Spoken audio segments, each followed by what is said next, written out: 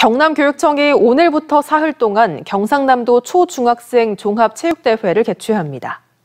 이번 대회는 시부와 군부로 나누어 교육지원청 대항전으로 진행되며 배드민턴과 역도, 양궁, 야구 등 32개 종목의 6천여 명의 선수가 참가합니다.